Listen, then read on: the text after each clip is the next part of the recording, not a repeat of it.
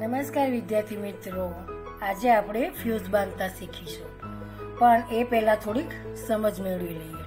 આપણા ઘરમાં જે લાઇટ આવે છે, તે આપણા ઘરમાં લાઇટ આવે, એ આ જે મીટર હોય, મીટરથી, મીટરની ઉપર આવો એક ફ્યુઝ હોય છે. આ ફ્યુઝ દ્વારા આપણા ઘરમાં લાઇટ આવે છે. આ ફ્યુઝમાં આ નીચેનો વાયર જે છે, આ મીટરમાં હોય છે. અને ઉપર જે વાયર હોય એ આપણા ઘરમાં આવે છે. જે લાઇટ આપણા ઘરમાં આવે એ આના દ્વારા આવે છે. જ્યારે આપણા ઘરમાં અત્યારે બધાના ઘરમાં એસી ફ્રીજ ટીવી હોય છે, બરાબર? વોશિંગ મશીન તો એના માટે આપણે કમસે કમ પંદર એમ્પિયરની જરૂર પડે.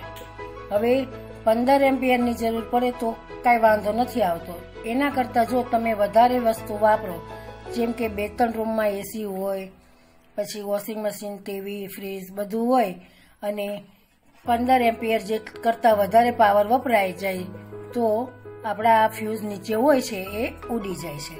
ફ્યુઝ ઉડી ગયો એટલે આ રીતે ઉડી જાય છે. જો આ વાયર હોય,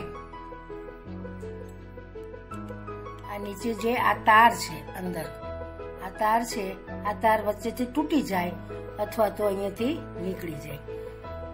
આ રીતે.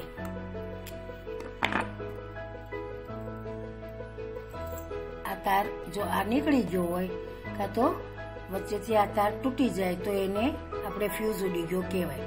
બધાના ઘરમાં લાઇટ હોય અને તમારા ઘરમાં ન હોય, ત્યારે એમ સમજવાનું કે તમારો ફ્યુઝ ઉડી ગયો છે. તો ફ્યુઝ આ ફ્યુઝ આપણે બાંધવા માટે આપણે આ એક વાયરની જરૂર પડે, એક પેચિયાની જરૂર પડે આ, અને એક પક્કડની જરૂર પડે. આ વાયર હોય એના, એમાં આપણે આ પકડ વડે આ વાયરમાંથી આવો તાર કાઢી નાખવાનો. આ તાર છે, આ તાંબાનો તાર છે. આના વડે આપણે ફ્યુઝ બાંધવાનું હોય. આ રીતે. આ ફ્યુઝમાં આ બાજુ ગોલ હોય, એટલે કે આ બાજુ એક સ્ક્રૂ હોય અને એક આ બાજુ ક્રોસમાં હોય છે સ્ક્રૂ એમાં આ બાજુ એક સ્ક્રૂથી આપણે આ જે પેચ્યું છે, એના વડે આ સ્ક્રૂ ખોલીએ અને એના વડે આ બાંધવાનો છે. હવે અહીંયા આપણે આ રીતે અહીંયા આ બાંધીશું. આ બાંધ્યું અને આ પાછું